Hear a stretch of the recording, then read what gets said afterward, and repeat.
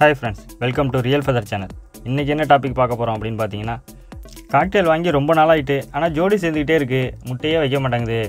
அப்படிங்கிறத பற்றியும் ஜோடி சேரவே இல்லை ஆனால் முட்டை வச்சுக்கிட்டே இருக்கு நான் வரையும் நான் ஜோடி சேர்ந்து பார்த்ததே இல்லை முட்டை வச்சுக்கிட்டே இருக்குது ஆறு முட்டை ஏழு முட்டை பத்து முட்டைன்னு முட்டை நிறைய வச்சுக்கிட்டே இருக்குது குஞ்சு பொறிக்கவே மாட்டேங்குது அப்படிங்கிறத பற்றியும் இது மாதிரி பிரச்சனை உள்ள காக்டெயில் எப்படி குஞ்சு பொறிக்க வைக்கிறது எப்படி முட முட்டை விட வைக்கிறது அப்படிங்கிறத பற்றி முக்கியமான தகவல்லாம் அந்த வீடியோக்குள்ளே அடங்கியிருக்கு. அதனால் வீடியோ ஸ்கிப் பண்ணாமல் பாருங்கள் வாங்க இப்போ வீடியோக்குள்ளே போவோம்.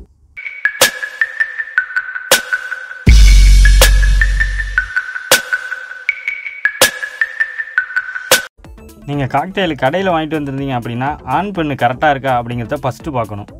அப்படி ஆண் பெண்ணு கரெக்டாக இருக்குது அப்படிங்கிற பட்சத்தில் கடையிலேருந்து வாங்கிட்டு வந்து உங்கள்கிட்ட வீட்டுக்கு வந்ததுக்கப்புறம் ஆறு மாதம் ஆயிடுச்சா அப்படிங்கிறத பார்க்கணும்.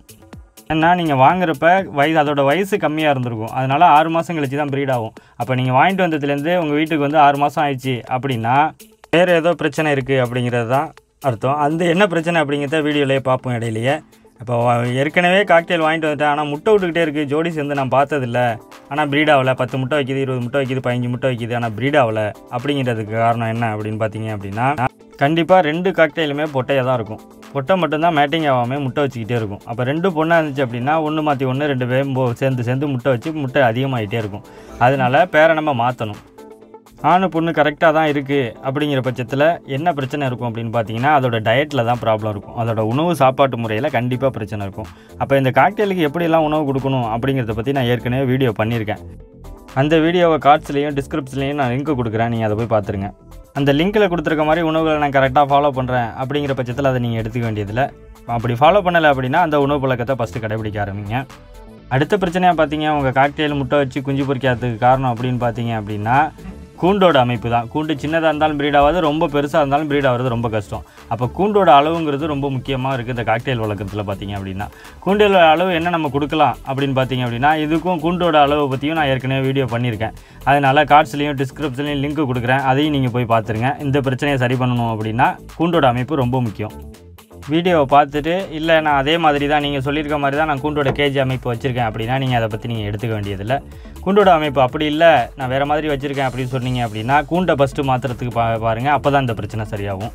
அதுக்கு அடுத்ததாக பார்த்தீங்கன்னா breed ஆகிறதுக்கு முக்கியமான காரணம் அப்படின்னா பானை அமைக்கிறது தான் அதோட பாட்டு எங்கே கட்டுறோம் அப்படிங்கிறது தான் ரொம்ப முக்கியம். நம்ம பாட்டு கட்டுற சின்ன பானையை கட்டினாலும் பிரச்சனை பெரிய பானையை கட்டினாலும் பிரச்சனை பாட்டை மாற்றி வேறு லொக்கேஷனில் கட்டினாலும் நம்மளுக்கு பிரச்சனை. அப்போ பாட்டு எங்கே காக்டெயிலுக்கு கட்டணும் அப்படிங்கிறத பார்த்தீங்க அப்படின்னா அதுக்கும் நான் வீடியோ பண்ணி நான் அப்லோட் பண்ணியிருக்கேன். கீழே டிஸ்கிரிப்ஷன்லேயும் மேலே கார்ட்ஸ்லேயும் நான் லிங்க் கொடுத்துருக்கேன். நீங்கள் அதை போய் பார்த்துக்கலாம். அப்படி பார்த்துட்டும் நான் பானை கரெக்டாக தான் கட்டியிருக்கேன்.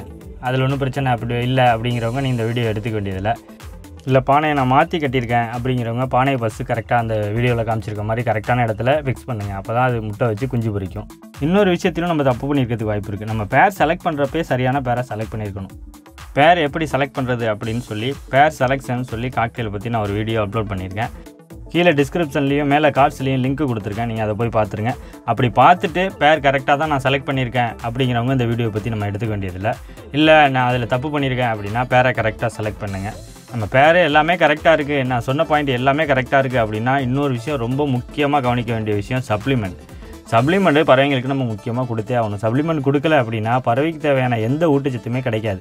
அப்படிங்கிற பட்சத்தில் கண்டிப்பாக அது ஆக்டிவாக இருக்க முடியாது. அதெல்லாம் எக் வச்சு குஞ்சு பொரிக்க முடியாது. அப்போ நம்ம சப்ளிமெண்ட் காக்டெயிலுக்கு என்னென்ன கொடுக்கலாம் அப்படிங்கிறத பற்றி இப்போ பார்த்துருவோம் எக் வைக்காத காக்டெயிலுக்கு கண்டிப்பாக அந்த சப்ளிமெண்ட் கொடுத்தீங்கன்னா உடனே எக் வைக்கும். விம்ராலும் ஆஸ்ட்ரோவிட்டும் தான் நம்ம கலந்து வைக்க போகிறோம் எப்படி பறவைங்களுக்கு கொடுக்கலாம் அப்படின்னு பார்த்தீங்கன்னா முத நாள் சாயந்தரமே இந்த போஸ்ட் கொடுக்க போகிறோம் அப்படின்னா முத நாள் சாயந்தரமே நம்ம கூண்டுலேருந்து தண்ணியை எடுத்துடணும் பறவைகிட்டேருந்து. அடுத்த நாள் காலையில் எப்போயும் நீங்கள் எட்டு மணிக்கு க்ளீன் பண்ணிவிட்டு தண்ணி வைப்பீங்க அப்படின்னா நூறு மில்லி தண்ணிக்கு அஞ்சு சொட்டு விம்ரால் கொடுக்கணும். ஆஸ்ட்ரோவிட்டு பத்து சொட்டு கலக்கணும். அப்போ நூறு மில்லி தண்ணிக்கு அஞ்சு சொட்டு விம்ரால் ஆஸ்ட்ரோவிட்டு பத்து சொட்டு. இதே நீங்கள் பவுலில் பெரிய பவுல் வைக்கிறீங்க இரநூறு மில்லி தண்ணி வைக்கிறீங்க அப்படின்னா அப்போ இரநூறு மில்லிக்கு எவ்வளோ கொடுக்கணும் அப்படின்னா விம்ரால் பத்து சொட்டும் ஆஸ்ட்ரோவிட்டு இருபது சொட்டும். இது ரெண்டையும் மிக்ஸ் பண்ணி அன்றைக்கி வச்சிடணும். வச்சுட்டு சாயந்தரம் எப்போயும் தண்ணி எடுக்கணும் இல்லையா? அடுத்த நாள் நம்ம சப்ளிமெண்ட் கொடுக்கணும். அப்போ முதல் நாள் சாயந்தரமே தண்ணி எடுக்கணும். முதல் நாள் சாயந்தரம் தண்ணி எடுத்து பாக்ஸ் அந்த தண்ணி பாத்திரத்தை கழுவி வச்சிடணும். அடுத்த நாள் காலையில் நம்ம என்ன தண்ணி வைக்க போகிறோம் அப்படின்னு பார்த்தீங்கன்னா இது வந்து வெட்டினரி மெடிக்கலில் கிடைக்கும் புரோட்டான். இது ஒரு லிவர் டானிக்கு பறவைங்களோட லிவரை ஃபங்க்ஷனை அதிகப்படுத்துறதுக்காக உள்ள டானிக்கு இது என்ன பண்ணணும் அப்படின்னு பார்த்தீங்கன்னா நூறு மில்லி தண்ணிக்கு பத்து சொட்டு விடணும். அப்போ இரநூறு மில்லி பவுல் இருந்துச்சுன்னா இருபது சொட்டு விடணும். இருபது சொட்டு விட்டு விட்டுட்டோம் அப்படின்னா நல்லா பசிக்கும் நிறையா சாப்பிடும். சாப்பாட்டில் உள்ள எல்லா விட்டமினும் உடம்புல போய் சேர்றதுக்கு நல்லா ஹெல்ப் பண்ணும் இந்த சிறப்பு பார்த்தீங்க அப்படின்னா. அடுத்த நாள் நம்ம கொடுக்க போகிறது பார்த்தீங்க அப்படின்னா குரோவிப்ளெக்ஸ் இதுவும் வெட்டினரி மெடிக்கலில் கிடைக்கும். ஏன்னா இவ்வளோ சப்ளிமெண்ட் நம்ம சொல்லிக்கிட்டே இருக்கோம் அப்படின்னு பார்த்தீங்க அப்படின்னா இந்த சப்ளிமெண்ட்லாம் கொடுத்தா தான் கண்டிப்பாக ப்ரீட் ஆகும். அப்போ ஒரு பறவை வளர்க்க ஆரம்பிச்சிட்டோம் லவ் பேர்டு காக்டெயில் இது மாதிரி பறவைங்க வளர்க்க ஆரம்பிச்சிட்டோம் அப்படின்னா இந்த சப்ளிமெண்ட் நம்ம வீட்டில் இருக்கணும். அப்போ இதை நம்ம எப்படி ஃபாலோ பண்ணணும் அப்படிங்கிறத பற்றி நான் இப்போ சொல்லிட்டு வரேன். இப்போ அடுத்ததாக குரோவிப்ளெக்ஸ் கொடுக்குறோமா? இது எந்த அளவு கொடுக்கணும் அப்படின்னு பார்த்தீங்கன்னா காலையில் தண்ணியில் நூறு மில்லி தண்ணிக்கு ஒரு மில்லி குரோவிப்ளெக்ஸ் நம்ம மூணு மில்லி சிரஞ்சி இல்லை நாலு மில்லி சிரஞ்சி வாங்கி வச்சிங்க. அதில் ஒரு மில்லி இழுத்து நூறு மில்லி தண்ணியாக இருக்குது அப்படின்னா ஒரு மில்லி கொடுத்துடணும். இதே பெரிய பவுலில் இரநூறு மில்லியில் வச்சுருக்கீங்க அப்படின்னா ரெண்டு மில்லி ரெண்டு மில்லியே கலந்துட்டு பறவைங்கிட்ட வச்சிட வேண்டியதாக அது குடிக்க ஆரம்பிச்சிடும் அடுத்த நாள் காலையில் இதுதான் கொடுக்கணும். இதோட பேர் ஜிங்கோ விட்டு இது வெட்டினரி மெடிக்கலில் தான் கிடைக்கும்லாம் கிடையாது. நம்மளுக்குள்ள மெடிக்கல்லையும் இதை வாங்க முடியும். இதை வாங்கி என்ன பண்ணணும் அப்படின்னா நூறு மில்லி தண்ணிக்கு அஞ்சு சொட்டு அப்போ இரநூறு மில்லினா பத்து சொட்டு கலந்து வாட்டரில் கலந்து மிக்ஸ் பண்ணி வச்சிட வேண்டியது தான் இப்போ இந்த சம் சப்ளிமெண்ட்லாம் சீனியாரிட்டி படி நம்ம கொடுத்துட்டு வந்தோம் அப்படின்னா பறவைக்கு தேவையான எல்லா விட்டமினும் கிடச்சி உடனே எக் வச்சு குஞ்சு பொரிக்கிறதுக்கு நல்லா சப்போர்ட் பண்ணும். இப்போ எக் வச்சுக்கிட்டே இருக்குது சரியாக குஞ்சு பொறிக்கலை குஞ்சை பொறிக்கலை அப்படிங்கிற பிரச்சனை சரி பண்ணுறதுக்கும் இல்லை மேட்டிங் ஆகிட்டே இருக்குது எக் வைக்கல அப்படிங்கிற பிரச்சனை சரி பண்ணுறதுக்கும் ஃபஸ்ட்லேருந்து நம்ம பார்க்க வேண்டிய பிரச்சனை என்ன அப்படின்னா பேர் கரெக்டாக இருக்கான்னு பார்க்கணும்.